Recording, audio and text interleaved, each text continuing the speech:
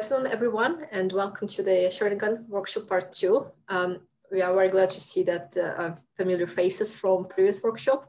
Um, as last time, we have Silvia with us, uh, and we have Laurie as well. Um, just a quick reminder, please keep your microphone microphones muted, but in the meantime, if you want to have your cameras on, you're very welcome to. Uh, we just shared um, Silvia and Peter and uh, me just shared some links in the chat box. You can access RStudio Cloud, you can also access slides, and you can access recordings from last um, workshop, which was on Tuesday. Um, and uh, yeah, now uh, over to you, Silvia. Great, thank you so much. Uh, it's wonderful to be back here. Um, thanks for joining me today. Let me go ahead and get started sharing my screen. And I'll need host privileges for that.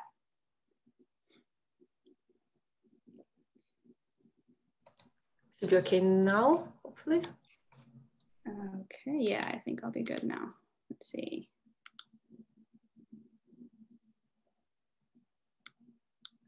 Okay, let's look at our slides. Yeah, see, my browser seems to still be working. So let's see if we can move through or if it's going to get a little bit stuck. We might just move a little bit slower than I would like. Um, okay, so welcome back for those of you that were here for part one, and then for those of you that are new, welcome. This is the second part to a two-part introduction to Xaringan, so package to develop presentations using R. And um, the second part will go through an extension package called Xaringan Extra, and then we'll go through CSS styling as well.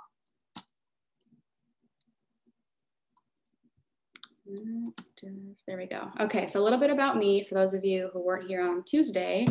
My name is Silvia Canelon. I'm a postdoctoral research scientist at the University of Pennsylvania in the States. And you can find my um, contact info there at the bottom.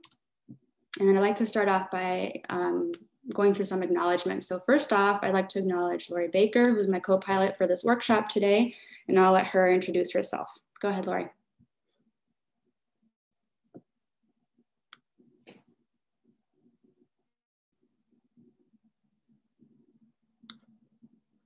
Oh, I'm wondering if Laurie maybe is having a hard time with the mic. Okay, well, while that gets sorted, and Laurie, feel free to jump, jump in whenever you like.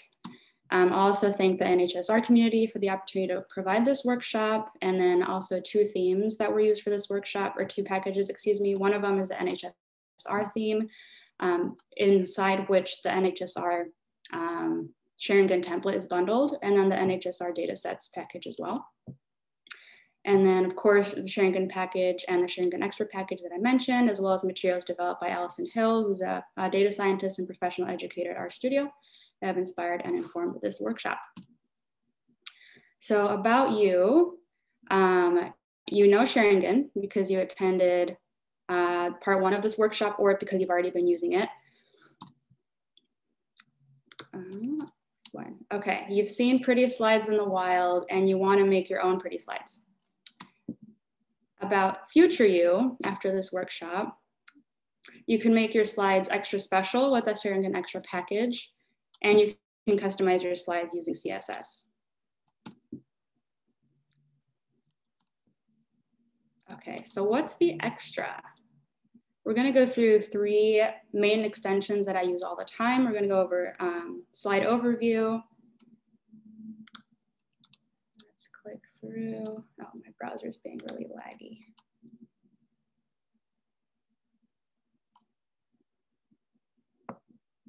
Oh boy. Ah, let's try this again. Okay, and then the other two that we'll go through are setting and slide panels as well.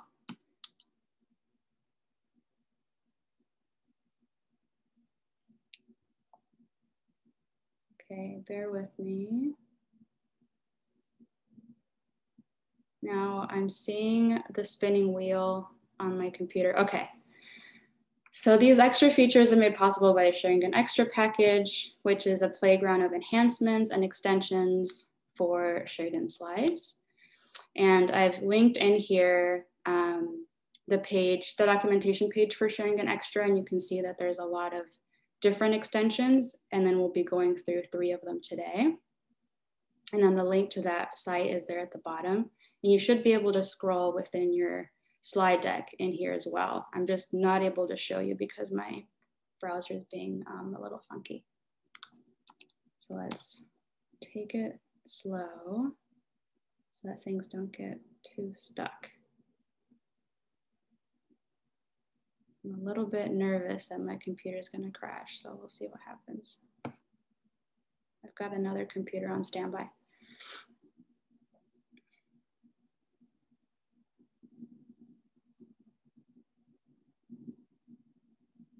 Are other people able to um, get through the slides okay? Or am I the only one that's having issues with it loading?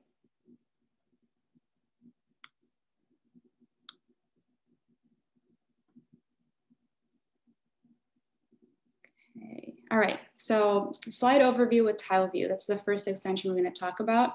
The example presented here is what it looks like when you use this feature which is just a zoomed out version of all your slides. It makes it really nice to navigate um, to different parts of your slide deck.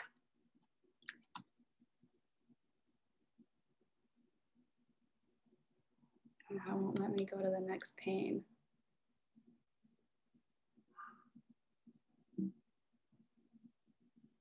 Huh, okay. So sorry, folks, bear with me. I'm gonna try maybe logging in on another computer.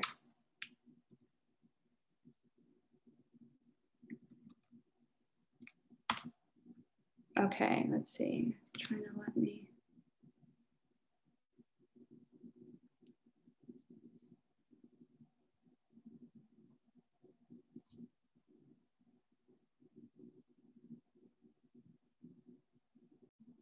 So sorry, folks. All right let's try to pick up where we left off. So uh, this is what a slide overview would look like. In terms of how to, the first thing you need to do would be to install Xaringan Extra from GitHub because it's not on CRAN, it's a very experimental package, which means there's a lot of cool features and a lot of cool extensions um, that are sort of being developed, um, you know, relatively quickly, I should say. Um, and then step two would be to load the library and add the use tile view function to your setup chunk at the very top. And step three would be to save and render your slides. And then the last step would be to press the letter O for overview on your keyboard to see a slide overview. And you can also try pressing O at any point during the presentation if you're following along with the slides um, to see this in action. And then I've got, I've just linked here the reference document for, uh, for that particular feature that you can browse on your own later on. Okay, so the next thing we'll talk about is slide embedding with Shareagain. And um, the, there's an example here, which is just the core site that we use for this workshop. And so you can't see it in here right now, but there's, uh, there's an embedded slide deck that you can see there. And then I embedded um, the slide deck for today on that core site as well. And so that's what it allows you to do. And the way you would do this would be to add the use share again function to your setup chunk. So earlier we'd add use tile view. Now we would add use share again. And then you would style the share bar by choosing social media sites in the setup chunk um, as well. And then you would embed your slides in uh, somewhere. So you could embed them in blogdown or other R Markdown HTML documents, which is really, really nice. And then I've also linked the reference there for the documentation if you want to browse it on your own. Okay, so the first your turn will be to make your slides a little extra. And so I'll give you those two options that I just went over to um, either, either add slide overview or slide embedding. And then I've linked to, I think, the correct slides in there. So I'm gonna go ahead and navigate to the RStudio Cloud project. Let me get back to the uh, where's my menu? I want to get back to the chat box and get that link.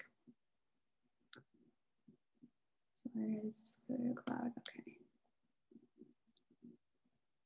There are a few housekeeping things that I wanted to do real quick in the cloud project, especially for those of you that are joining today that maybe weren't here um, on Tuesday. The main part being that there's a folder in the Studio Cloud project that's called, um, I think, sample slides, something like that. And it has a slide deck that's already um, sort of put together and built. There's a an about me slide, I think near the beginning, and then there's a goodbye slide at the end that uses the NHSR community um, image as an example that you could replace with your own your own uh, photo if you like. But I just wanted to point that out. If people want to use that today and just tweak it, they're more than welcome to do that. Or you can just continue adding to um, your slide deck from Tuesday. Let me just show you where that is real quick, and then I'll and then I'll start the timer. So we're not we're not quite to the your turn yet.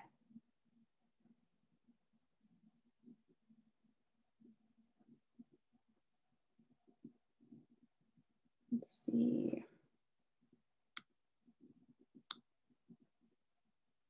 Okay, so here we see the slide deck that I was referring to, the NHSR example slides. And so you'll see if you scroll down, if you open that up, and that's just located within, so this is our main spot. This is where the project sort of originates. That's where the project file is. Here under NHSR example slides is where you would find um, the, the deck that I'm referring to. And so if you open that up, this is what it looks like on the left. And so you have here a hello slide and some more links. And then let me just show you real quick what that looks like. And then as a refresher, on Tuesday, we talked about rendering your slides in the preview window, and you can use a Xaringan Infinite Moon Reader function to do that. So I'm just gonna go ahead and run that and then they should populate on the right-hand side, which they did. And so we'll just go through real quick. So this is just a basic example of an about me, and then like an outline kind of a slide. Some people like making table of contents like slides um, in their decks. And then there's, you know, the bullet points and stuff that we talked about last time. And then just some other examples. So you're welcome to tweak this one if you like today. Um, okay, that being said, let's go ahead and start the your turn. And I will set a timer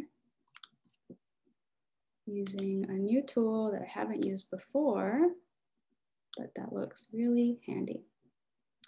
Okay, let's update every maybe 10 seconds. And the timer starts, did it already start counting down? No.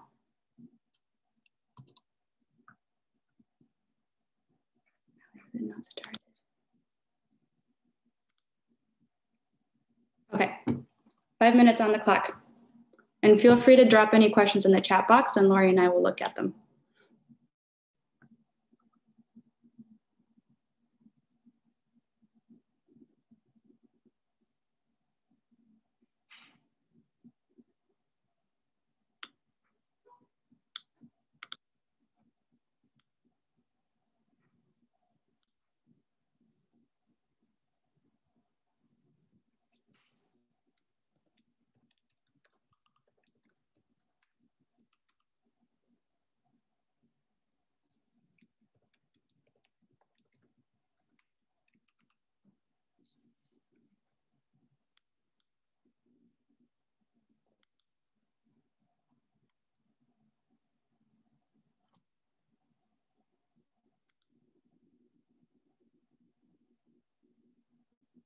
Well,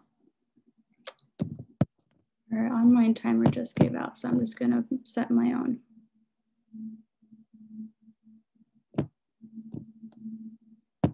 Give you another four minutes.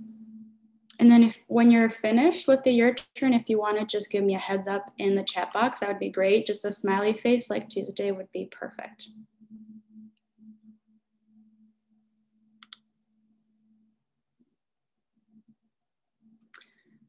To Zoe's question, do you have to use hello or goodbye on the slides or is that just like a name tag? It's like a name tag. Um, you can read more about how to use them.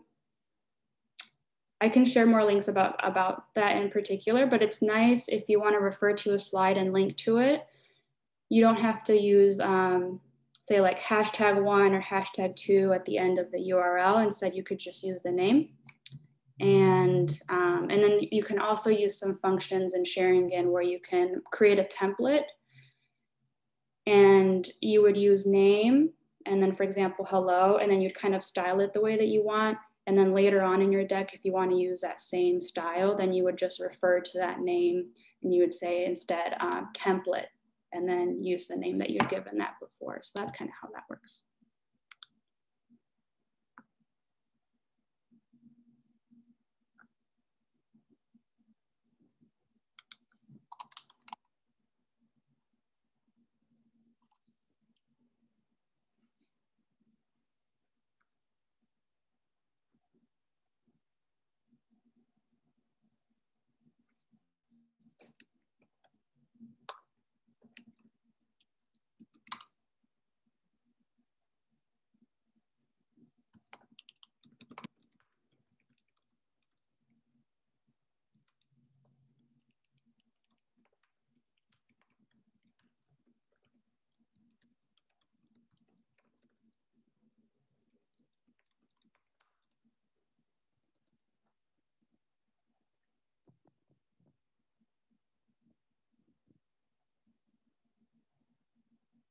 We've got about two minutes left.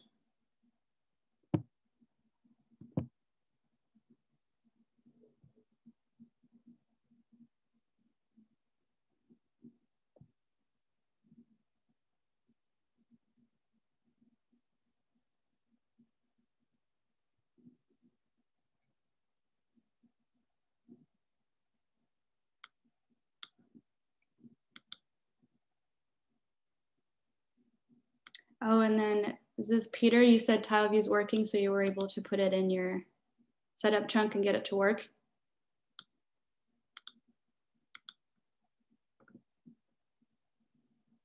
That's awesome.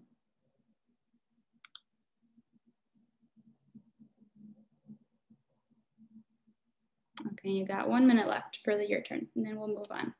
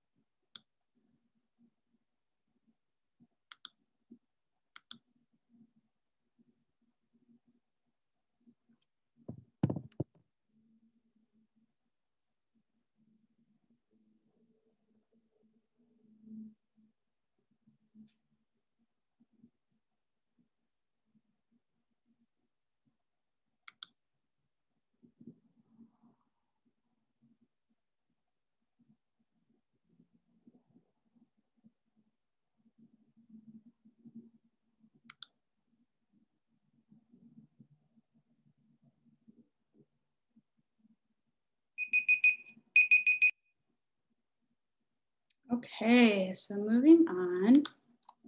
Hopefully people are able to get those features, uh, at least one of them incorporated into the slide deck today. Let's see if we can move forward. Browser's being a little bit slow.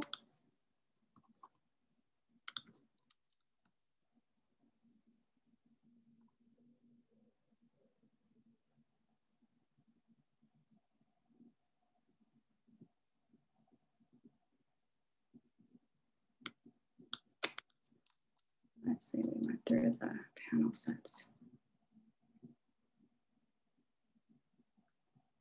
Okay, so let me just find my place again.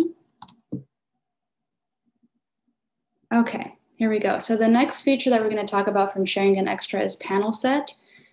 Um, and this is another example of uh, this is just an example of what panel set looks like, which you've, you've all seen many examples of throughout this deck and then also the deck on Tuesday.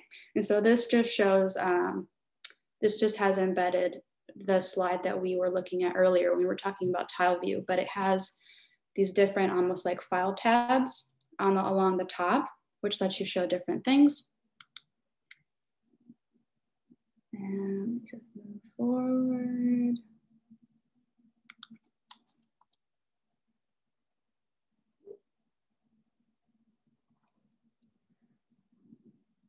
I'm still waiting.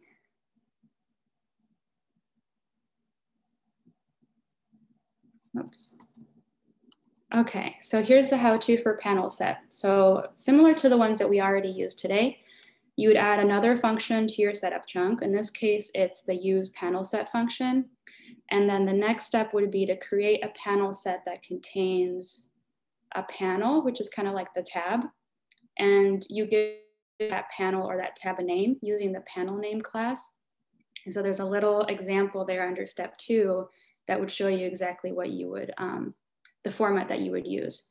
And I put a little tip here, which is that, you know, when you start working with panel set, because there's so many different um, classes with brackets, you know, that indicate that it's a class, and you start nesting them, it can get a little bit, um, it can get a little bit hard to keep track of what's what.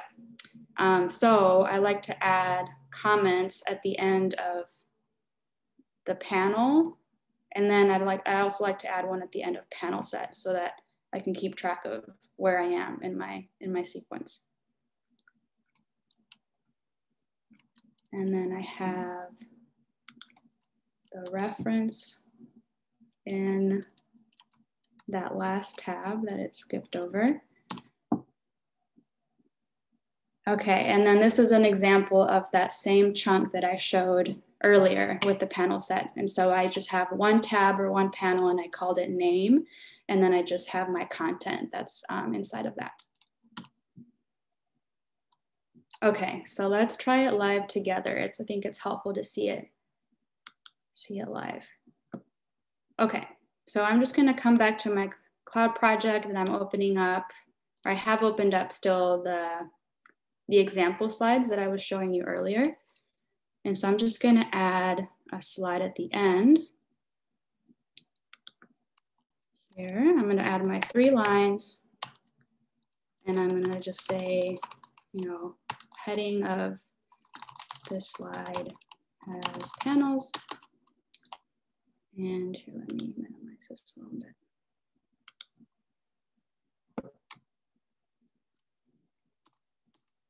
Okay.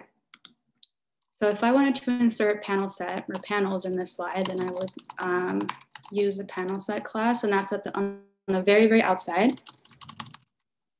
And, and then inside is where I would indicate the panel or the tab. And then I would also give it a name. And I'm just call this tab one. And then I'm gonna make uh, actually what I usually do is I go ahead and insert that comment right away. And the way that you do that in HTML is with um, a less than sign, an exclamation point, four dashes, and then another, and then a greater than sign. And so you could just write in the in the middle of that. And so I usually say end of panel. And then depending on how many tabs I'd like in that slide, then I would just copy and paste those chunks and so, and then I'll just change the name. So I'm gonna give this the name tab one, or excuse me, tab two, tab three, and tab four. And then right after that, that name is where you would include your content. And so I'm just making some room there for that. Make some room for that there. Making some room for tab three content, and then for tab four. So you can see how already it's kind of split up into different tabs and it is kind of nice to see where the end of one panel is and then where the next one begins. So I'll just write here content for tab one.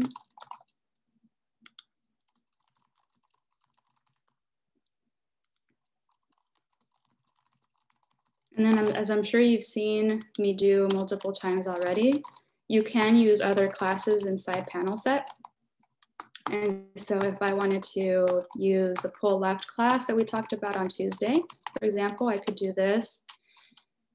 Um, and I'm just gonna write some content here. And then I also wanna maybe put something on the right-hand side. So I'll use pull right. Just write pulling content to the right. And let me save and then it'll get updated. And because we're using the Xaringan infinite moon reader function, this should uh, update, but it hasn't. So let's see. Oh, you know what? I forgot to install packages. So let me go ahead and do that.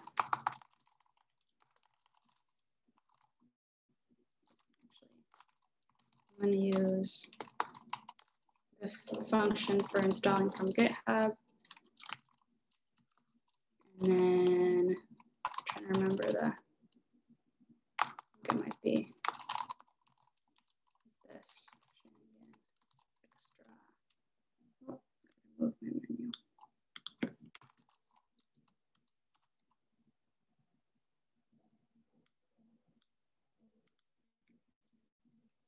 Skipping install. So I wonder if maybe I didn't load it, if it was already installed. Okay, so let's go ahead and load up an extra. And see if that takes care of it.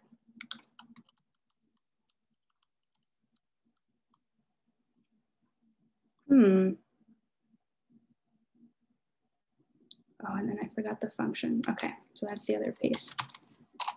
Let me go back to my slides so I can remember what that is.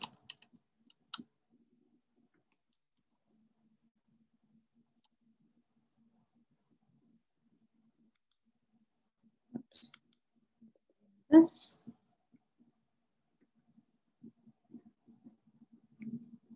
Okay.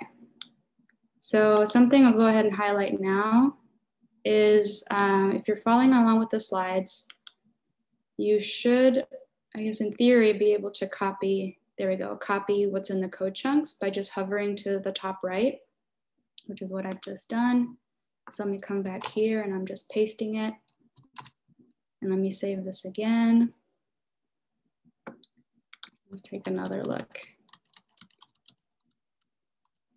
Okay, now we've got it working. So we can see the four different tabs that I made. There's tab two, tab three, and tab four with the pull left and pull right classes used in there. Okay, so let's go back to our slides. Let's give it a little bit of time.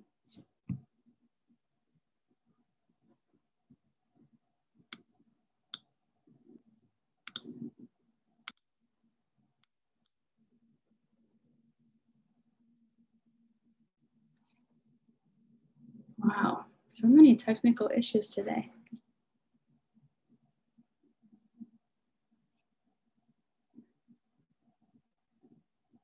Yeah, and I see there's another one in the chat box. 4OR for found for embedded use code. Oh, that's really helpful. Thank you. I'll make sure to fix that.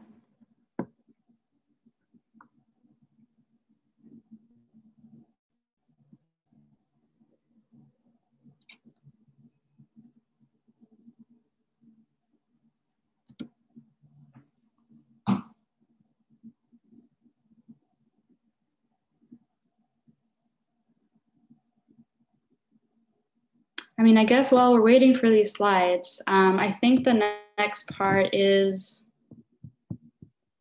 next part might be a, might be a your turn, I don't remember. Let me get my slides opened on my other computer. Maybe we can just talk through some of this.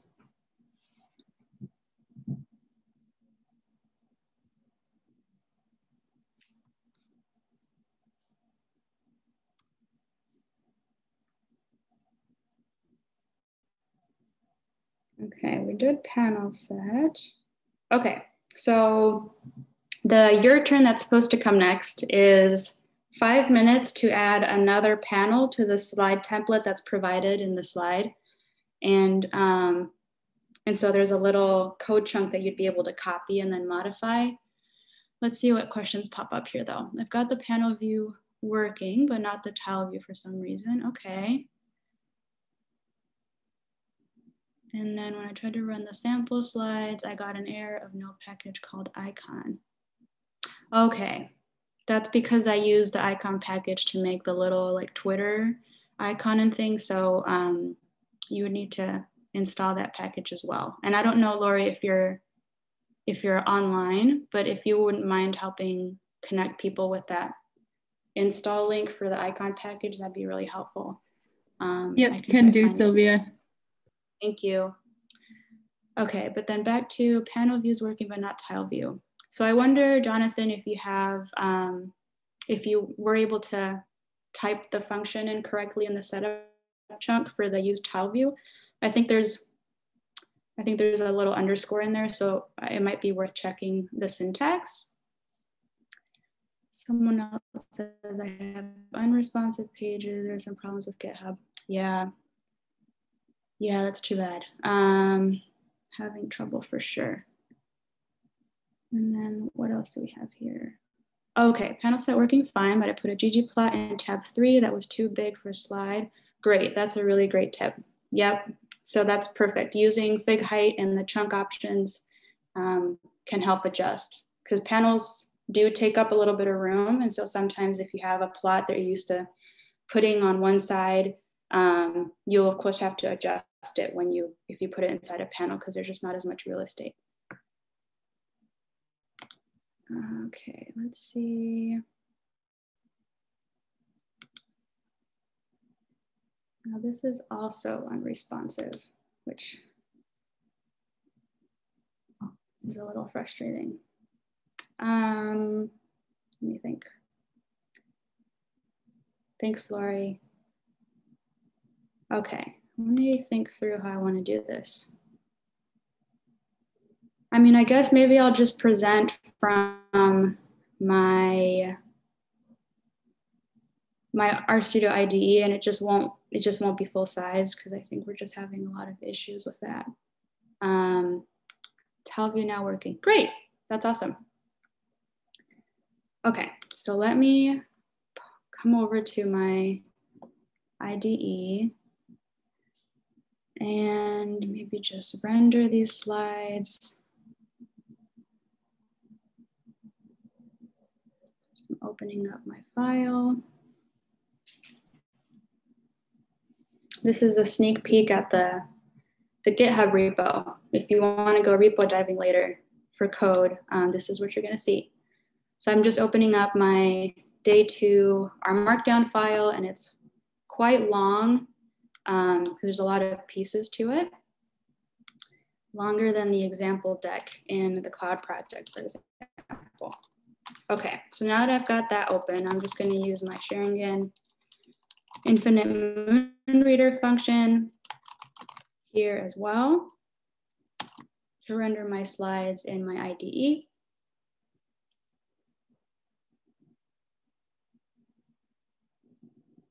And I guess while we're waiting for that, I'm just going to move this over to where my other stuff is. Okay.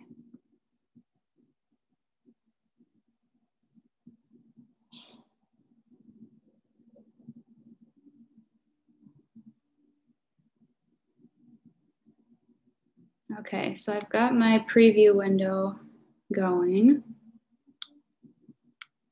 Let me just make it a little bit bigger. Oh, actually, that's pretty nice. Okay, that's pretty good. I'm pretty happy with this. Okay, now because I've been jumping around all over the place, instead of having to click through all the slides, I'm gonna use tile overview to find my spot once again. Okay, so here's the your turn and the your turns are the red slides, so they're a little easier to find. This is a your turn that I was talking about. And so what I would um, like you to do next for the next five minutes is to, if you haven't already tried um, inserting a panel set, I know some of you have, but if you, if you haven't yet, I'm gonna give you an opportunity to do this now. And I'm just gonna give you a couple minutes instead of the full five. Um, but go ahead and hover to the top right of that code chunk, copy the code, and then just make a, a brand new slide in your cloud project and put that in there And, um, and so the direction is to add another panel to this slide template. So right now it's just got the one and it's called panel one. And so I have a little hint here at the bottom of the chunk um, to asking or offering for you to try adding um, panel two right underneath of where it says end of panel right here to insert a new one. So I'm gonna put two minutes on the clock just because we have a lot of content that I would love to share with you. Uh, okay, two minutes starts now. And then feel free to continue putting questions in the chat box. And thank you so much for your patience.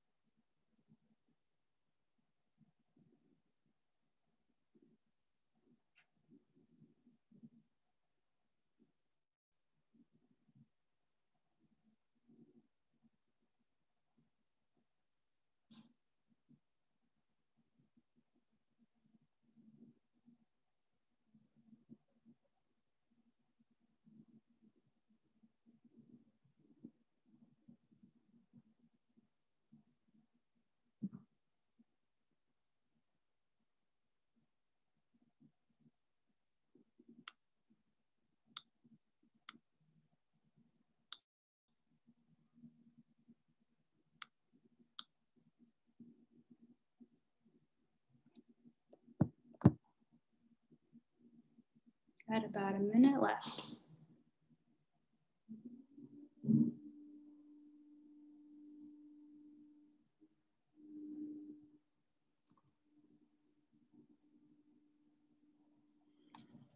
The styles in a panel inherited from the main slide tiles. Mm -hmm. Yeah, and there there are ways to tweak that, and I think we might have a better sense after we go through the CSS portion of the workshop.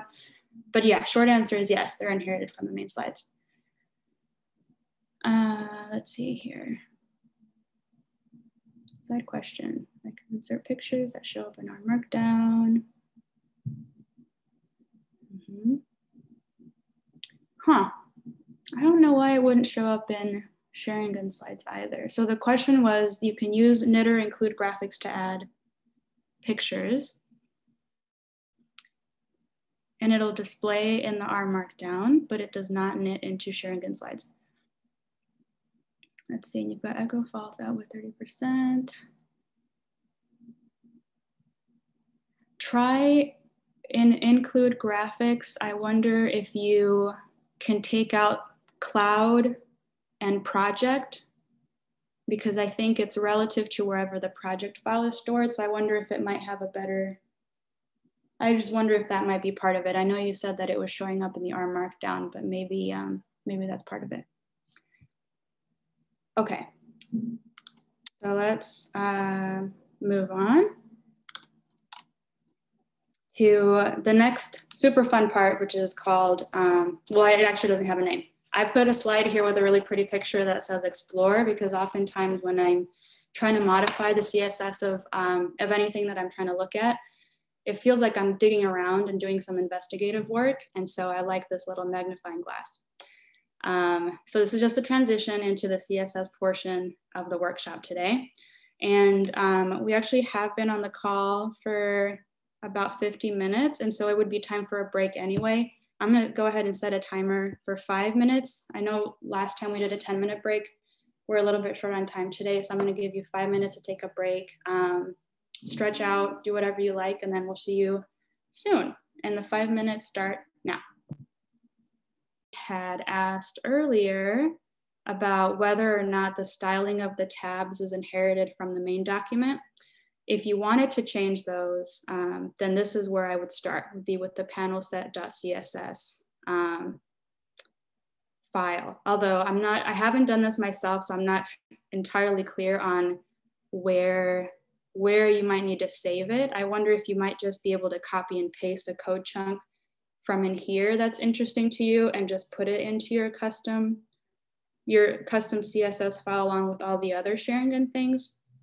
Um, it's worth a try, but I have not tried it myself yet, but that's where you would start. Um, and so back to the libs folder, the general one, this is that remark CSS folder that I was saying holds the default CSS file. And so here it is. And so we're just gonna click it and open it up right inside the RStudio IDE. And let me just minimize this a little bit. Okay, and so this is uh, obviously a new kind of file. So it has the extension CSS for cascading style or style sheets. Um, and it still has color coding associated with it. So you can kind of tell what's what. And so again, this is the file that gets used for a standard Xaringan template. And um, what did I want to do for this piece? Okay, yeah. So we're going to go through some of the different pieces. And I'm going to ask people to be a, little bit interactive with this piece. I'm going to ask as we scroll through if people can use the chat box to drop in just as we're viewing the things. If anything pops out as looking familiar from either from anything that we might have discussed today or shown today in a demo or from something that we saw on Tuesday. So again, we're just gonna scroll through and then if you see anything that pops out to you as something that looks familiar, please drop it in the chat box. Okay.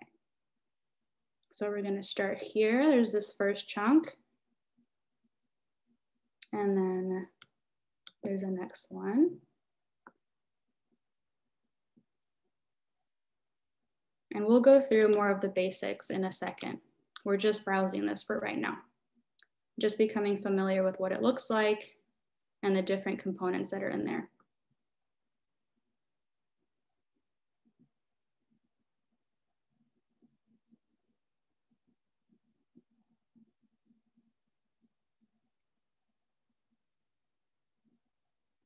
Yep, awesome. We have used inverse for class and also people are mentioning the 20% width of columns came up on Tuesday. Mm -hmm.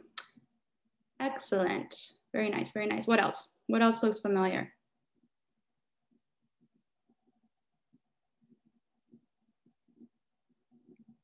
Pull right, awesome. And that's right here and right here.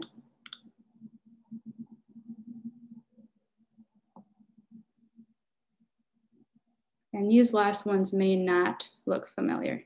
Um, they certainly wouldn't look familiar from my workshop, but you might have seen them in some other context. Um, and yeah, pull right, exactly. Okay, that's awesome. So y'all are on the ball and you're identifying things that you've already seen. So the way I like to think about this is you have your R Markdown file where you're using classes using um, that syntax where it's dot and then the word. So for example, here, dot and then the word, and then you have square brackets. That's how it shows up in your R Markdown file. And then when you look at the styling sheet is kind of like looking under the hood or behind the scenes and saying, okay, what's going on that's helping create what I'm using in my R Markdown file. And so this is um, providing properties that we can, we can tweak to make things look a little bit different. And then I'll go ahead and point out here, I believe it might have been Emma, correct me if I'm wrong, who had asked on Tuesday if there was a way to get rid of that extra space on the top of the right section of the slide when you're using the left column and right column layout. And so I had mentioned that there was there was some padding that was automatically added there in the, uh, in the default template. And so if you wanted to modify that, then this is where I would go. And so we can see that the right column um, has a padding dash top property right there, and it's got a value associated with it as well. Okay, so now we've taken a look at that. Let's go back to our slides. Oh, EM, yeah, thank you. EM, let me go back to this. It's a unit, um, it's a unit of size here. So we'll talk a little bit more about that later. But when you're talking about size of things in a CSS file, you're gonna see PX for pixels and, okay, great. And then um, you're gonna see REM and you're gonna see EM. And I'm not sure if there's an example of REM in here as we can check later. Um, and you know, I don't remember exactly what that stands for. Uh, so we can just look it up. Um, EM typography. And M is a unit in the field of typography. I'm looking right here. Okay, so I guess we can we can look them up a little bit more later on. But uh, I think what you what you maybe want to take away is that EM and REM are both units that scale with what's going on around them. Thanks, Laurie. Um, and so these are important things to consider when you're choosing sizes of your fonts or line spacing. And we'll talk a little bit more about that on this in the, in the upcoming slides. Thanks, Laurie. That's really helpful. Um, okay. And whoa, goodness. Okay, so we looked at the default CSS file. So now we're just gonna cover some of the basics. And um, what's here? So you can make it absolute or relative. Yeah, exactly, Jonathan. And so there are reasons why you may not want to always make it absolute or always make make them um, relative. And I think a big part of that just has to do with not being sure where where people are going to be viewing the content. So if they're viewing it on a smaller screen, um, or a bigger screen, you may not necessarily want the ratios to stay the same. And so there are a couple of tricks that you can keep in mind. And I'm, I'm sharing a really nice resource in the slides um, if people want to read more about that and how to decide when to use pixels um, or absolute units or relative ones. Okay, so going back to the basics. So we talked about rules. So there are rules that we follow, or rather rules that Xaringan follows when it's styling um, the HTML produced by our Markdown file. And so this image shows the basic structure that we're gonna come across and that you've already noticed from going through the default styling sheet that we just went through. So you'll see that our sheets have a bunch of CSS rules. Um, there are selectors of various types. So just like this image here has a selector here with the dot in front of it. They don't always have to look like this with a dot in front of it. This is just one example. This is called a class selector and which again, everyone's already seen and, um, and we've identified today in that sheet. And then each of these um, rules might have one or more properties within it that are assigned some value. So there's always a selector and then there's some kind of declaration. And in this particular example, the property they're referring to is background image, which may also look familiar from from things that we've looked at in our slides already, uh, probably on Tuesday. And then in this case, they're using a function, so URL, and then they're providing um, an argument to find that, that image that's gonna be used as a background image. And then I've linked to um, a resource for that there at the bottom. There's lots of links that you can look at um, when you have more time later. And so moving on to sort of selectors in general, selectors uh, basically identify kind of groups of related things or elements within your sheet. So they point to an element that needs to be styled. So in this example on the left, the, the rule is styling the heading, like a level one heading, which is H1. And so I just wrote here that the rules can be written on one line, like the example on the left, or on multiple lines, like I've typed it up on the right-hand side. And so in this case, this rule is selecting all level one headers, which is the same as um, using one hashtag in R Markdown. And so you can imagine that a level two header would be using the two hashtags. But in this case, we're modifying all of the level one headers and we're assigning them the color blue and a font size of 12, um, 12 pixels. And then I did look this up and unlike with many R functions, color spelled C-O-L-O-R cannot be replaced by color spelled C-O-L-O-U-R um, in CSS land. So I apologize for that. That's probably pretty annoying. But just heads up, if you tried to replace C-O-L-O-R with um, the version with a U here, it, it will not work. Uh, okay, so moving on to specifically class selectors, which are the most common ones that we're encountering. Um, again, it begins with a, with a dot, with a period, which we've already noticed. And then I wrote here's a question, which we've kind of already talked about, which is where else have we heard the term class or seen that dot syntax? And so some of you already pointed out that, um, you know, with the inverse class, that we've already used it in our slide making and that we've already used certain classes that are identified with that dot in front of the, the word. Um, and so on the right-hand side, I've got an example specifically of the inverse, um, the inverse class. And so, and I've pulled this from the default CSS style sheet that we just looked at. And so if you were to look at this, you could read it like all HTML elements with class inverse will have a background color of um, this hex code. We'll have text color of this hex code. And then we'll also have a text shadow. Um, corresponding to this.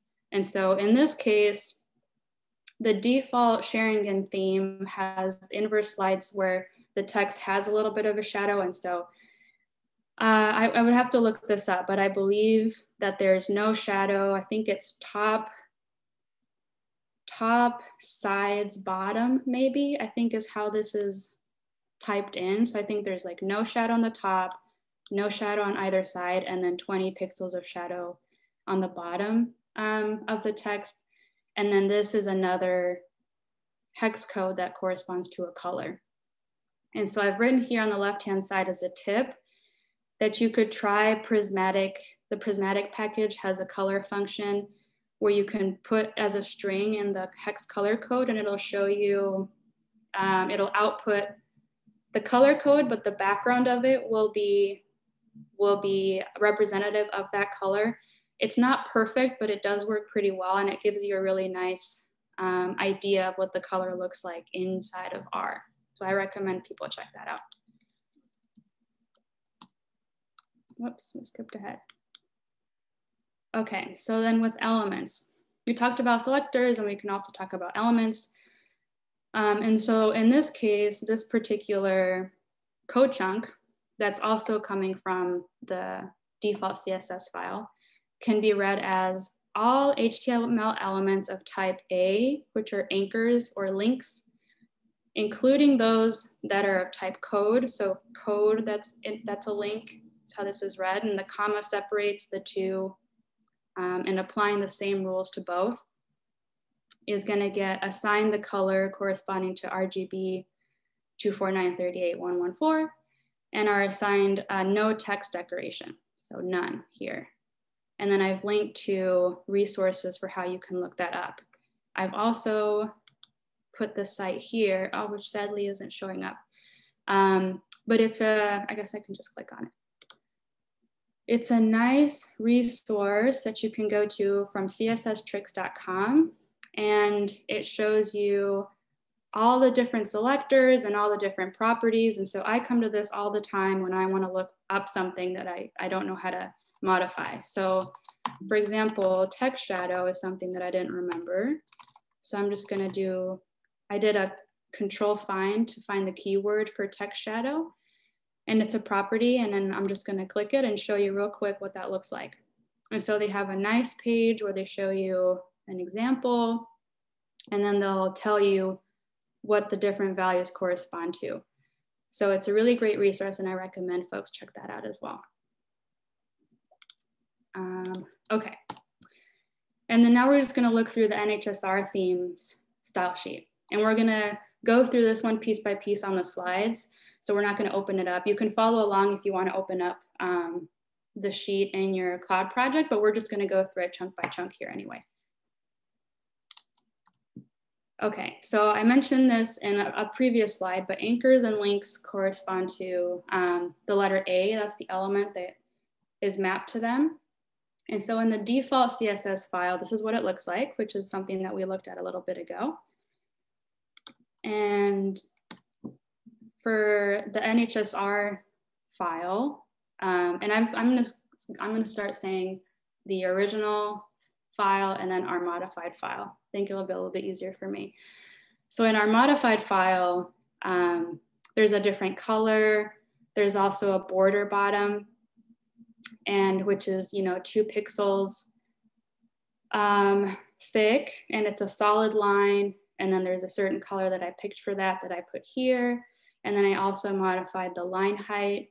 Um, and I chose to do that for this one because if I had multiple links uh, underneath each other, I was seeing that they were overlapping a little too much and they weren't as readable. And so I wanted to make it, give it a little more separation. And so this is an example of using that EM unit where I'm saying, okay, the line height is one and a half times larger than the size of the text that's going in that, um, in that link or in that anchor.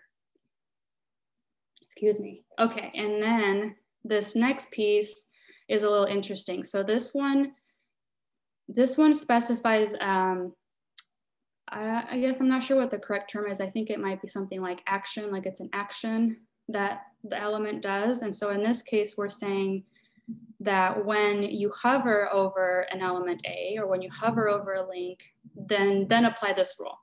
And so the rule there is to get rid of that border bottom. And so I'll just show you a real quick example with a slide we were just looking at. Okay, so for example, this one, this is a link. So this is the element A that we're just looking at. And it's got a nice thick border on the bottom. And then when I hover, it goes away. So the border bottom um, equals to zero, makes it go away. I like this feature because it's, it's a very visual way of indicating that you're hovering over something. I think for accessibility purposes, it's nice to have um, other cues that something is changing. And so I find that having something like that, like a border on the bottom that goes away or having no border bottom and then having it come up um, is a nice way to, to indicate change aside from using something like a color change, for example. Okay, so this is back to where we were before. Um, other action uh, words that you might find um, I think there's one called active, and that indicates what it looks like, how it's styled when it's clicked on. So as opposed to just hovering, if you want it to be styled a certain way when you click on it, then I believe the word that would go here is active. And you'd be able to find, find more of those in the Almanac too that you can look up. Okay, the next piece, headings. Um, so the default Xaringan theme didn't have any properties that it changed from the root HTML file. And um, the default root properties are that text, text begins at 16 pixels and that, uh, and that it's the color black. And so Xaringan, the default theme didn't deviate from that, so it didn't make any modifications. And then here's where I mentioned this resource that I was talking about earlier about font sizes and units. And so in a nutshell, document level adjustments, so like to the root um, uh, content should be, should be, um, should use pixels. So sort of that absolute unit. And then modules, so for example, classes that go kind of within the overall structure of the document, scale with the document. And so you would use um, REM, which I think R might stand for relative here. I'm not 100%. And then lastly, type will scale with modules and EM. So there's kind of a, a hierarchy there. And this article that I linked to is really nice, gives a really nice overview of that. And so this is what it looks like in our modified sheet. And when I created this template, I hadn't um, I hadn't read this article. And so I think all of the, or most of the items or the elements in there are using pixels. And so I need to go through and update that myself after having read that article. Um, so just a heads up. Anyway, so headings here are modified with the H1 and the H2 and the H3. So those are the ones that I chose to style a different way. And the class that corresponds to uh, to those to those headings is the remark slide content. So that's kind of like the the the class that corresponds to a lot of different features of the slide deck. And so in this in this particular example, I'm saying uh, all level one, level two, and level three headers belonging to this class, uh, please apply these rules. And so um, I have different sizes and different colors in some cases, I think. Now these ones are all the same color, but different sizes for sure, and then different line heights also.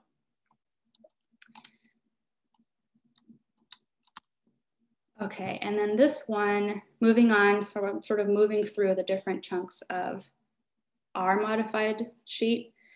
So compared to the default sheet, there wasn't anything specific about the paragraph text. So the paragraph text meaning most of the text that you see written out, so not belonging to a, particular heading, but just the text that you would write without a hashtag before it, for example.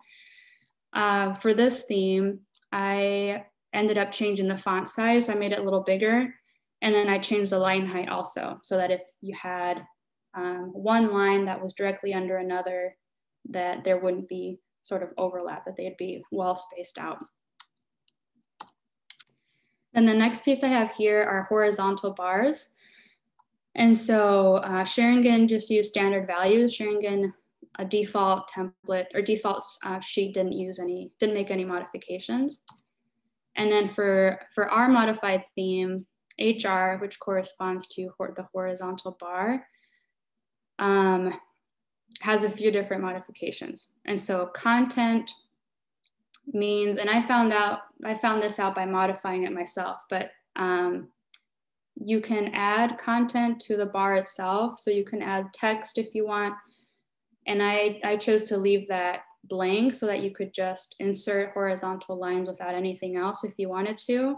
And you use you do that by using four or more dashes in your R markdown and then um, and then there's a few other things. And so but mainly i think the background color and the height were the ones that made the most difference. Look at the time real quick. Okay i want to make sure we have plenty of time to play around so i want to keep an eye on that. Um, okay so this section i call bottom of slide stuff. And and if you're looking through the nhsr css file you'll see that it's commented and I tried to do my best at comment, commenting it in a way that um, would be easier to refer to later. And so hence a name like bottom of slide stuff. Um, and so the default theme has uh, a footnote, for example, that's styled in a particular way. There's a certain position of it. There's um, there's a certain padding. I think there's space. The bottom means there's space at the bottom between the bottom of the slide and then where the footnote starts. So maybe you don't want it right at the bottom edge, you wanted it a little bit higher. And then the font size is a little bit smaller, for example. And so I'd like to pose a question for the chat box is how, how do we write comments in CSS? So looking at what we're looking at right now, um, what would you say would be a good way to write a comment in a style sheet. In terms of syntax. Yep, you got it. So that slash and the asterisk start off the, um, the comment and then you end the comment, whether it's on a single line or an entire chunk with another asterisk and, um, and a bar. Looks like magic wands, it kind of does. Um, okay, and then for our theme, there are some adjustments to it. So not a lot of them, but there's some. I think I moved it closer to the edge a little bit to give a little bit more room for the big content chunk. And then, um, oh, similar to SQL. Yes. I can't say I use SQL as, as much, so I don't even think I've commented, but yeah, I think, I think I do remember that. Um, what else? Okay, padding to the right. So that's padding from the right edge of the slide because I didn't want a long footnote to run off past like a nice clear margin around the slide. And so I moved it. Um, well, this is actually the same. So I didn't actually move it, but that's what it's there for. It's to create some space between the, the right edge of the slide and then where the footnote would end. And then I made it a little bit smaller. So I made the font size 80% and then I fiddled with the line height again.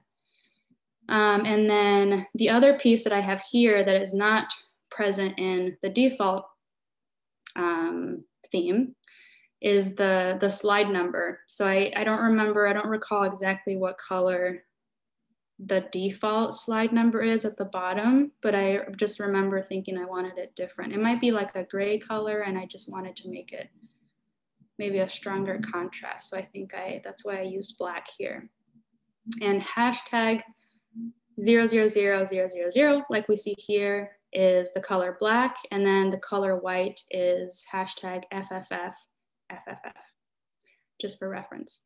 Um, but you can also use human words to describe colors. So we could have also written here black and it probably would have been identified just fine. Same with white. And then there's also other colors that can get identified automatically. I'm not sure what they all are, but I, I definitely know that you can you can do that. And that can be a really nice, easy way to test a color is just by typing in without having to look up a color code. If you want to just test something out, then you can just type in um, a human word for it. Okay, this next piece talks about inline code. And so in the default uh, sheet, uh, we see some um, remark code line that's highlighted and it's got a certain background color and it's sort of blocking out by that copy code, but there's a certain color that was assigned. And then I'm just showing in the next chunk below that this up here is written on one line, but you can also write it on multiple lines. So oftentimes I've seen CSS written on one line if there's maybe only one property, but if as soon as there's more than one property, it becomes easier to read when you separate out the properties on their own line. Um, and so here is what that would look like if it were written that way. And then I changed the inline code in our theme and I wrote here some comments. So there's inline highlighting within text just to make it really clear about what that is. And so I changed the font size and the weight. So the font weight is kind of like saying um, whether you'd like it to be bold or not, that's a weight that you're giving that, that type. Um, and so you might find 400 or 300 is like a thinner line for the typeface. 400 I think is pretty standard across my slides. And then headings I think are maybe, I guess we'll see, but um, headings are a little bit weightier. So they're maybe 500 or 600. Um, and you can go up higher to make it like really, a really thick typeface as well. So that's what that is. Um, and then there's the text color that's specified here. There's a background color that's specified here which is like a gray color. Well, actually it's, um, it's the same gray that you're seeing here on this slide, that same background. And border radius is what you can use to shape the box that it's around. Some people like it to be very sharp corners. So they might use, um, they might write zero here. And other people's like more rounded corners. So they might use like I did three or maybe even higher if they wanted more rounded corners um, and then padding around padding around the, uh, the text as well. So if you wanted it really close to your text, then maybe you would say zero pixels on all dimensions. And then uh, line highlighting within code. So that corresponds to the, um, the way that it looks when you indicate in your text that you would like to highlight that line in your text chunk, or sorry, in your code chunk where you could do it with, I think it's hashtag less than less than. If you write that on the line of your code chunk, then in the output, it'll show up with a background uh, that corresponds to, in our theme, it corresponds to this color, which is again, that light gray. It'll show up just like this color up here. Um, and I think the standard, the default color, which is this one here, is like a very bright yellow. Um, just for, for reference. Okay. And again, it's not showing up rendered here, but it should show up in the rendered slides online later. I'll, I'll definitely double check. Um, but this was just showing that slide that we went over on Tuesday that shows the YAML. Um, and so I was saying here that the default style sheet doesn't have anything specific in terms of styling the code chunk. And so I think the styling is just coming from the highlight style property in the YAML. Um, I think that maybe gets sort of takes over and can can style the code a particular way. So a commonly used highlight style is the GitHub style. And so that looks a certain way. And uh, in our slide deck from Tuesday, there's a slide that has all of the different options for highlight style that you could use. The one that's being used in our modified theme is the Google code style. Um, anyway, so that's that.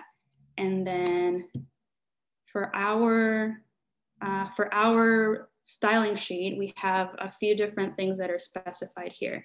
So I've got one chunk here that is the code chunk kind of background layer. So what I found is that code chunks have like a background layer, rectangular shape, and then there's like an inside um, frame. And so here we talk about whether or not there's a border, if there's a box shadow. I'm somebody who likes the way that box shadows look around things. Other people don't like them at all. So if you don't like box shadows and you like it to look very flat, then you could change these to zero. Or if you wanted, you know, a lot of shadow on one side, then you could make those numbers bigger. And then there's also a color specified there. And then um, you can control the padding and then whether there's a background color. And um, this overflow X feature makes it so that if your code goes past the edge of that box, then you can use a little scroll, horizontal scroll bar, which of course it got cut off here because I've got a lot of code taking up space. But normally you'd be able to see a little horizontal scroll bar that you can use to then see the, the rest of your code if it goes off in the horizontal direction. And then border radius again is similar to how we were talking about the, the inline highlighting where some people like it to be sharp corners, other people like the corners to be a little bit more rounded. And then I have here code chunk foreground, which I think, I don't think I commented it this way in the style sheet, but I have information here for that. Um, and then this is where you would control your font size. So I use 18 pixels because I like it to look, you know, pretty big. Um, let's see, would you be able to wrap instead of scroll? That's a good question. Um, I would suggest looking at that, that resource, the CSS tricks resource and looking up Overflow X and maybe seeing what the different options are I'm not sure off the top of my head. Whoops, okay. So tables. Tables in the default styling sheet are styled this way and tables are a little bit um, trickier for me to wrap my head around. Um, and specific with, specific to the Xaringan theme, I was having a hard time styling the header of the table in a way that I wanted to. Um, but this is what the code for that looks like. And you'll see some familiar selectors like, or properties like border top, border bottom. Um, and I'm gonna start moving through a little bit faster. Okay, and then in our sheet, there's also some modifications. So I wanted to change the color, um, I think of the, the even, yeah, the even um, rows in the table are all colored differently than the odd rows. And so the even rows in our tables have that same gray background color that's been consistent throughout the rest of the theme. And then I believe that this section controls, yeah, the table header. And so border bottom indicates the thickness of that line that separates the header of the table from the body. Um, and then there's a similar, similar kind of feature, or I guess um, property that you could probably control for the other ones. And then block quotes. So like this one I've showed here, the one for the default sheet looks uh, is written a certain way. And then for us, it was a little bit different. So I'll ask in the chat box if you can spot the difference between the two, because I know that it looks very similar. So hop in the chat box if you can spot the difference different gray. Yeah, so that's the only difference here. Mm-hmm, color, exactly. So here the color in block quote is uh, light gray. So this is an example of the human human colors um, that you can use. And then in our theme, I changed it to that, that same gray color that I, I was using consistently elsewhere. Good eye. Okay, and then this part's kind of fun and interesting as well. So the inverse class modifications that Xaringan makes are, on the left-hand side. Um, whoops. And so I think what I will point out here is when you want to make changes to what the inverse slides look like, then you would just add the selector dot inverse like here. And then after that, you would follow it up with whatever you'd like to, to change. And so I know we've already talked about the inverse um, slide before, but I'm just gonna reiterate um, because you're saying, in this example, you're saying um, down here, you're saying for every level one header within an inverse class, and then a level two header within an inverse class and a level three header within the inverse class, all of them get the color F3, F3, F3, which is like an off-white. Um, and so something I wanna emphasize here is that it's not sufficient to say dot inverse H1, comma H2, comma H3, because that's just gonna read it as level one headers, heading one within inverse, and also heading two not inverse and heading three not inverse apply this rule. And so if you want to apply something to the inverse class, for example, you have to specify that for every element that you'd like to modify. Now, a quick note here, if you want to modify, for example, a Hugo, the Hugo academic theme, which is very popular for folks that have their personal blogdown sites, it's a very similar process where there's a there's a certain way that the website is styled for their light theme. And then if you wanted to design a dark theme, then you would also use a very similar approach, only in the Hugo academic theme, um, the word is dark instead of inverse. But I think the same, it's a, probably a similar framework across the board. So just a note in case anybody is interested. And I do have a blog post that talks about designing a dark theme if anybody ever wants to, wants to do that. Um, okay, and then in our modified theme, we have a few, a few changes. So I changed the background color to that bright blue NHS color. And then I changed the color of the text to white, which is that those six um, F letters. I took out the text shadow so that it was, um, so that it would kind of lie flat on the slide. And then I changed the, and I, I apologize, I collapsed all of these different code chunks so that they could all fit on the slide. Um, and so I use more of that inline approach to writing them. Um, I think we can scroll over this way. Yeah. So I changed the color of the inverse headings to be white as well. Um, let's scroll back here. What else did I change? The horizontal bars I also changed for the inverse slides. I made the, the horizontal bar white also. Whoops. And what else did I do here? Okay, and then the links or the anchors for the inverse slides I also changed. So I made them white and then I changed the border bottom to be white as well. And then I said, um, if you notice at the bottom, I know it's hard to see because of that Xaringan bar, but the that feature that we talked about earlier, when when you hover over a link, the border bottom goes away, that one applies here on the inverse slides as well. Okay, and then we're getting very close to the end of the sheet. The custom title slide uh, class that's in the sheet, um, it doesn't exist in the default sheet, so there's nothing there. Um, and I'll ask, I'll pose a question for the chat box again does, I wanna know if anybody um, finds that chunk there familiar. And if, if you do find it familiar, maybe indicate um, where, roughly where in the slide deck you would see it. Okay, so I see top of the example slides. Yeah, so this is a very first slide that you see when you load up the theme from using the template. And so we can see that the class shows up here so we have the custom class in our sheet, and then we refer to that in the class section when we start our new slide, just like we identify other, um, other properties like whether you wanna move things to the left or the bottom and so on. And so here's what that looks like in our sheet. So there's the there's a section here that I labeled NHS organization logo. So that's the things related to having that placeholder for the organization logo on the title slide. And so here I indicate where that file is. And so you'll see that file path and using that URL function that we mentioned briefly earlier.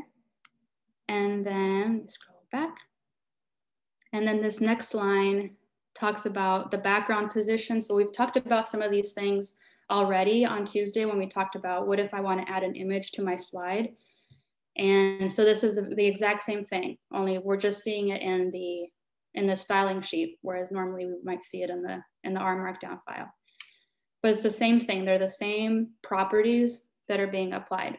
And so in this case, we've said place the organization logo like 95% of the way to the right and then 10% of the way from the top down. And then the background size is indicated there also. And then I changed the heading, the level one heading for the title slide to be the color black. And um, because the other headings are that bright blue. And then I also made a note here to hide the slide number from the title slide and so I just wrote display none for that one. Okay, oh, what did I mean to write here? Oh, I forgot to give this a label. Um, what I'm talking about here at the very bottom of our style sheet, I made some custom classes just for text emphasis.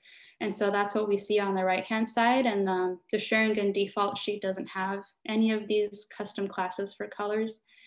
But this is a really easy way to just have a color available to use whenever you like. And so I added just a few to the bottom of that styling sheet based off of the colors from the NHS identity um, guidelines. And so there's a blue, there's a green, a pink, a red, and then a warm yellow. And that's what those colors correspond to. And then I have an example below of how you would use it. So just like any of the other classes that we've been using, you would just indicate that you're using it by using brackets in your R Markdown file.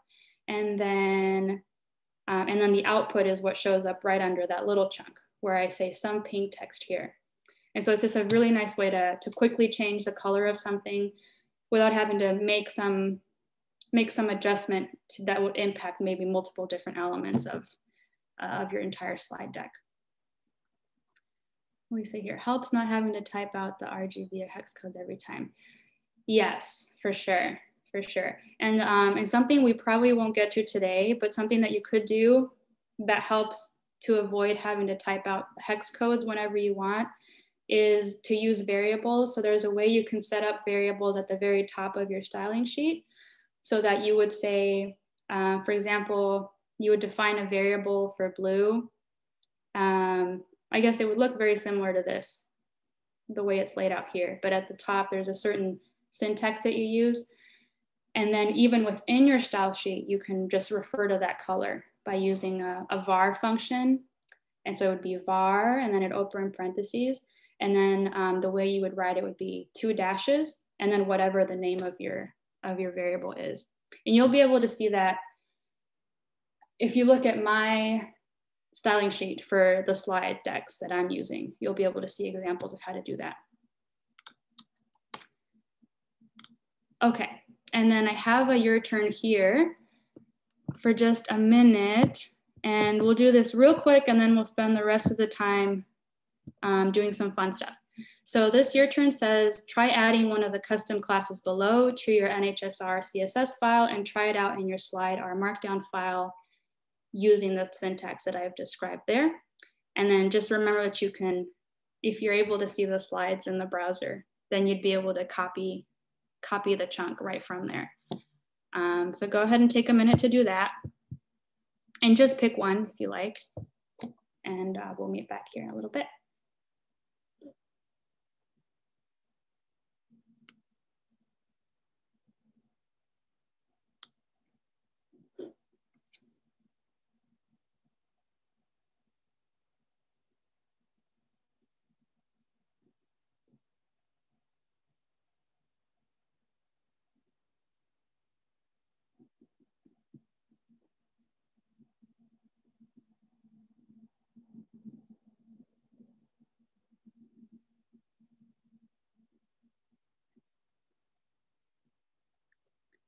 Can you add CSS in a code chunk? Yes, you can. You would just change, um, instead of R, you would put CSS in there. And then I think that would, I think that would have the same effect as applying it from a, from a style sheet. And so you could add that, um, yeah, I guess anywhere before you're planning on using that code. Oh, okay, that's the end of that time. I know it went by super fast. Um, okay, but let's move on so we can have time for some other things. So it's party time. This is a time for everybody to practice some of the stuff that we covered. So I would like to encourage you to um, sort of let go of your inhibitions. Don't worry about what the design is going to look like or if things are going to look nicely together or whether there's enough margin around my things or enough white space. I think um, it would be really great if you could just experiment. And so what I would encourage you to do is create a whole new file using the same template. So new file, new R markdown file, template from the NHSR um, package, and then just label it something fun like party theme. And then, um, and then go into that CSS folder and make all those changes that you'd like, and then see how they get reflected in your rendered slides. Um, yeah, thanks, Laurie. That's a really great link. A link to find colors is there. Ooh, I don't think I've used my color dot space. That sounds like that sounds nice. Thanks for sharing. Um, I do provide a few options in the in these slides. So there's a the website that I end up using a lot is called coolors.co. And I really like it because it has a bunch of themes already put together, um, color themes that you can just use. And you can also save your little palettes in there, which can be really nice. So like I have a, a palette saved for my website. And then I, I'm constantly referring to that palette that I already saved um, in there. But anyway, I know you can't see it on my screen and I apologize again for that. But if you are able to look at the slides later on, um, you'd be able to see the different palettes in here. And then I've just linked a few resources. Some things to keep in mind, not for party time, but for normal times. Um, you wanna make sure to check your color combinations for contrast. You don't want your text to look too similar to the background that it's on top of. And there's accessibility standards for that. And so Coolors has a really nice contrast checker that you can use. Um, and then as I was mentioning, you can create and save your own color palettes using coolors if you like. And then, and then I just a quick reference, the one I tend to go to if I wanna really quickly look up a hex code is um, colorhex.com. And but then Josie also shared another one in the chat box which is excellent. Um, but let me just navigate to this real quick because I want to show you what the site looks like. Oh, if it would only let me. Well, let's just navigate. I think I'm gonna get there on my own. Uh, colors, there we go. So this is what the website would look like. And you can go to explore, for example, and how do you install an SR theme on a local machine? Yeah, we can definitely provide a link for that, Leonardo, to do the, to install. You have to install it from GitHub. And so um, we can provide that link later on. Um, okay, so this is what I was talking about when I was saying that there's a bunch of color themes that you can just use um, and adapt from. So this is what those might look like. And then they also have a section of dark themes that you can look at. And um, if you want ideas or to get inspired to see what kind of colors you like seeing together, um, it can be a nice way to sort of take some of that cognitive load off of trying to figure out what, you know, what might look good together. And you can always adjust it. So no big deal. Um, what else? Something else, something we didn't get time to go over today is fonts. And so I know the NHS is quite particular about font choices, um, and they only allow two font choices, which are uh, the Arial standard font that I think most systems have installed already. And then there's another font called Frutiger or Frutiger, and um, and that's another option. Now that's a paid font. And so for example, I don't have it on my machine. And that's why I styled all the slides using the Arial font face. Um, but let me just show you real quick what it would look like if you did want to change the fonts. And, and that's actually a lot easier, I think, than styling the main sheet. So let me just quickly show you uh, what that looks like. Okay, so I'm in my example slides. I'm going to my CSS folder, and then I'm going to this fonts sheet. So Xaringan requires a fonts, um, a fonts styling sheet in addition to a main one, but the fonts sheet has very little in it. So the idea is to do most of your tweaking in the main file and then only really change your font faces in the font styling sheet. And so here you can see those two fonts that I included that are approved by the NHS identity guidelines. And so um, I would I will say that a way you, you can play around here is with the code font because there aren't specifications for which font to use um, within code, like which monospace font. And so I would encourage you to look up some, some monospace fonts that you like. So in this example, for this theme, I just picked the Roboto Mono monospace font, but we can look up some other ones as well. Let me show you how to do that. Um, but just really quickly, this looks very similar to the other sheet that we were looking at. This um, element or selector, I think maybe it's both, um, specifies the font family for everything basically. And then the headings themselves in particular are assigned a different, um, or can be assigned a different font family. And then, uh, and then again, here's what the code, whether it's inline or in a code chunk would look like. So if we wanted to change the font, we could go to the Google Fonts page, for example, which has free fonts available. Oh, maybe I shouldn't, shouldn't have done it that way. Okay, let's just look up fonts. Oh,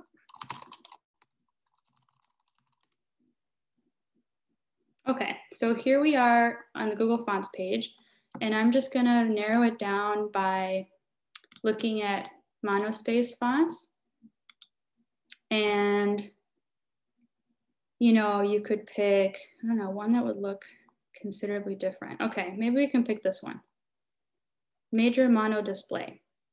We would pick a font and some of them have multiple different weights we talked about weights earlier, so this is an example of a weight. So this font is only available in a regular weight um, of, of 400. So we can't, we can't download a version of it that's like bold. Um, and so if we wanted to use this one, we would say, select this style, just kind of like adding it to your cart, but it's all free. Um, and then you would click over here to where it says add import because we want to import it into our sheet. And then it just gives us the really easy, um, the really easy text to copy and paste into our sheet. And so I just copy everything that is between those style um, tags. So I'm gonna copy that and put it over here in my sheet. I'm just gonna add it on because I don't need to delete the other one. I can just keep adding on the interesting ones that I find. But what I will do is now I wanna adjust it and the page we were just looking at shows us how to do that as well. So you could just copy and paste that um, if you wanted to, and it would look a lot like that. So maybe I don't want to use this one right now. Um, and so maybe I could comment it out and just use this new one. But the other thing you could do is just add it in line like we did for the Arial and the Frutiger fonts. And so maybe we could just copy this and we put it here at the beginning. And so the reason why there's two, or I, I should say the, the, yeah, I guess that's the reason. The reason why there's often more than one font whenever you look at a styling sheet is because not everybody's gonna be able to view the font that you designed your slides in for a variety of reasons or browser or who knows. Um, and so it's good to have like the main font that you would like your to show your slides in. And then the fonts that come after that are like backup fonts. So it's like, okay, if the first one's not available, then go to the second one. And if the second one's not available, then move on to the third one and so on. And when you run out, like let's say somebody didn't have Arial or Frutiger, then it would default to, I think what the root HTML styling is, which I, I believe is Times New Roman. Um, but that's that's why you might see multiple different fonts when you when you open somebody else's CSS file. Um, yeah, so if anybody, for example, was using this Frutiger font, like you have it on your computer and you make your slides using it, and then you share your slides with me, you know, in some way, and I open them, I don't have that on my computer, and so I would see them in Arial if, if this were the other way around, uh, like this, just as an example. Okay, but now we added this, this new font, so let's see if it shows up on the other side. Um, let's look at our viewer. We might have to re-render.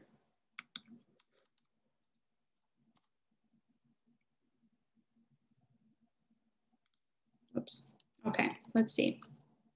Okay, so there we see we've modified all of the code to use that new font that we just downloaded. Um, yeah. Okay, question. Do you need to specify Times New Roman or some other default? I think it's handled automatically, Jonathan. Um, I'm not 100% certain, but I think it is handled automatically. Because if we don't, if we don't apply any styling sheet, then you, it's not like you, it would disappear and you wouldn't be able to see anything. There's still, there's still something there. So for example, if we go to our YAML and let's say I I, um, I didn't type this correctly. Maybe I made a typo and maybe I made another typo here and maybe one here to the point where Xaringan doesn't know what styling sheet to use because it can't find them. Um, okay, of course it's giving me an error because it knows that it's incorrect. Um, let's try it this way. Wait, this one. Okay, so the default one is in there. Okay, hold on. I'll find a good example to show you. Okay, so this is what the slide looks like without any styling. Um, and so this styling is not specified by the Xaringan style sheet because when we looked at it, we didn't see any specific anything. Um, and then what else? Yeah, but this is what it would look like if you if you didn't apply any kind of styling. So it looks it's functional. It doesn't look bad. Um, it just doesn't look nice, you know. And so that's why we we use styling sheets everywhere. Um, so yeah, so here we're adding it back in, and then it'll it'll update and follow the new rules. Um, yeah, you're welcome. What else we have here? Thanks, for battling through tech challenges. Oh, yeah. Yeah, yeah, yeah, for sure. Thanks everybody for being so patient. This was, um, yeah, quite the challenge, and I really appreciate you you sticking it out with us. Um, I think that's all the time that we have. Let me see if there's anything else. No, yeah, I guess I'll just end here. Um, how does metadata and NHS theme will probably fill in your descriptor? Um, the metadata just it just comes from, the way it's added in is just using the R Markdown file metadata, I think, with the, the dollar sign to pull something from the YAML. Is that what you're asking, Peter? Metadata?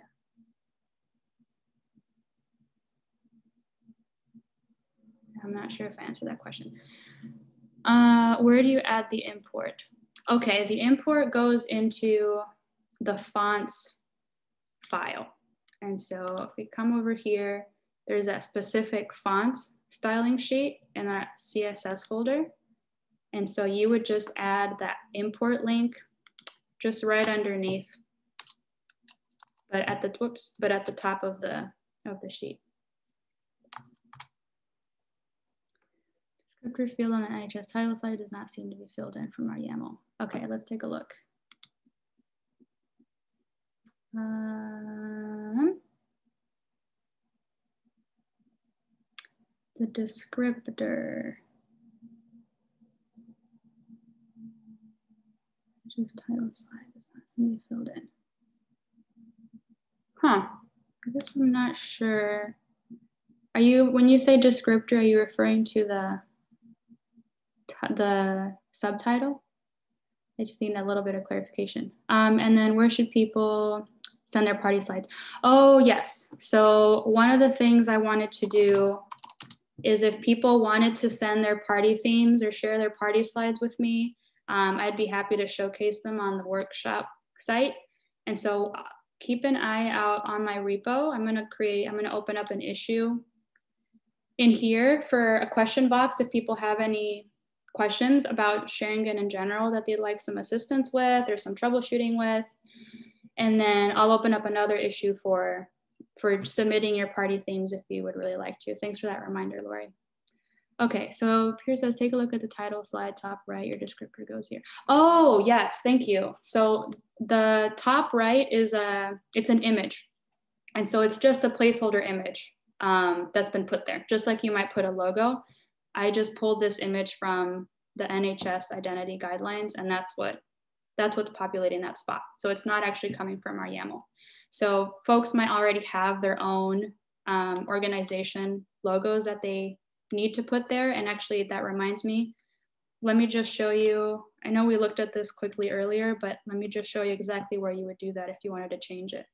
So we're opening up the main CSS file right now. And at the bottom is where we find those custom classes. And so here's the title slide.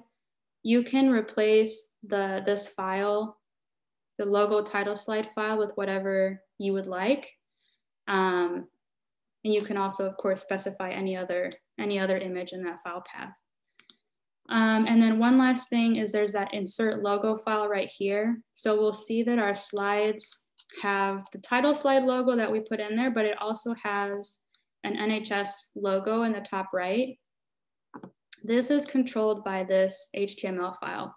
And the only reason it's added in this way is so that it could be wrapped up into the package and make it easy for everybody to have them.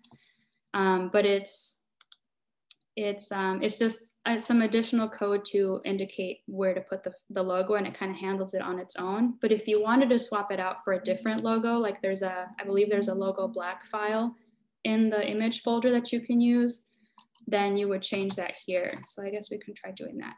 And then here is also where you would specify which classes to skip um, putting the slide on. So I've already skipped anything that uses title slide doesn't get the logo, anything that uses inverse doesn't get the logo, anything that uses a class hide logo also doesn't get the logo.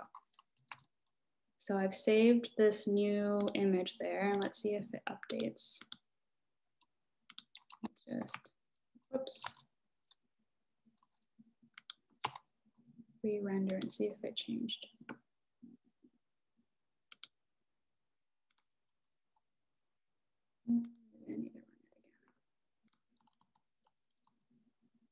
Well, you get the idea. I think I'm going to stop trying to show you things in the interest of time. Um, I just want to really thank everybody for taking the time to be very patient today with all the issues that we had. Um, and then please feel free to reach out if you have any other questions. Thank you so much to Laurie for her help today. And thank you so much for the, to the NHSR community for hosting me and letting me give this workshop.